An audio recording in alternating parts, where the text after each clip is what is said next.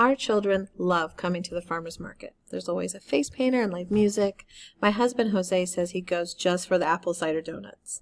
We almost always buy some organic vegetables to take home, and we brought some cilantro last week, and the kids can't wait for the corn to come in. I'm struggling with it though. Prices are higher here at the farmer's market than at the grocery store. Jose reminds me that we're not just buying organic food, but we're also supporting local producers, which is important to both of us. But I really wonder if it's worth it. Frankly, I'm not even sure what organic means. We definitely want our kids to eat fresh food and to stay healthy and strong. But then again, I never ate organic food when I was young, and my health is fine. However, I don't think I had even tasted a pawpaw before coming to the farmer's market, and I loved it. I would feel a lot better about our extra spending if I knew for sure that organic food is really healthier for our family.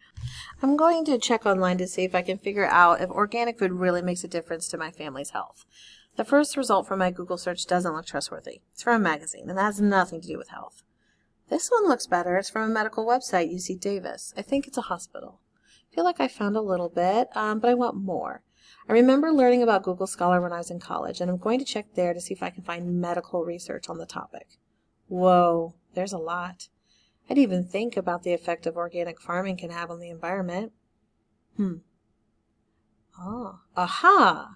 This one mentions human health implications. That's what I want. Hmm. The PDF is here for some of the articles, but not for all of them. I wonder if I can ask the librarian at the public library if they can get it through interlibrary loan for me. I use Libraries Connect Ohio for research on a lot of topics.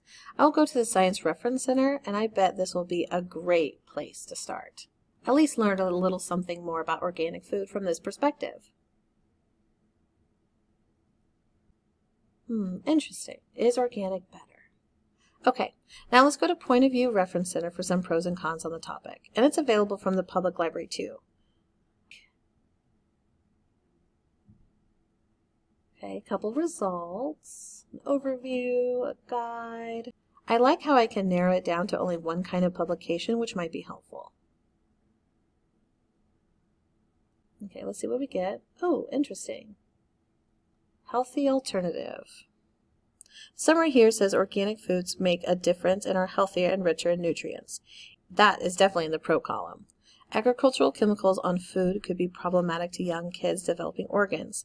Oh, that's definitely another pro for organic food. Finding information about organic food has convinced me that buying organic food is worth our time and money. Knowing this has made me feel more confident about choosing organic food. And buying organic food at the farmer's market makes us feel good, and our family meals are much healthier.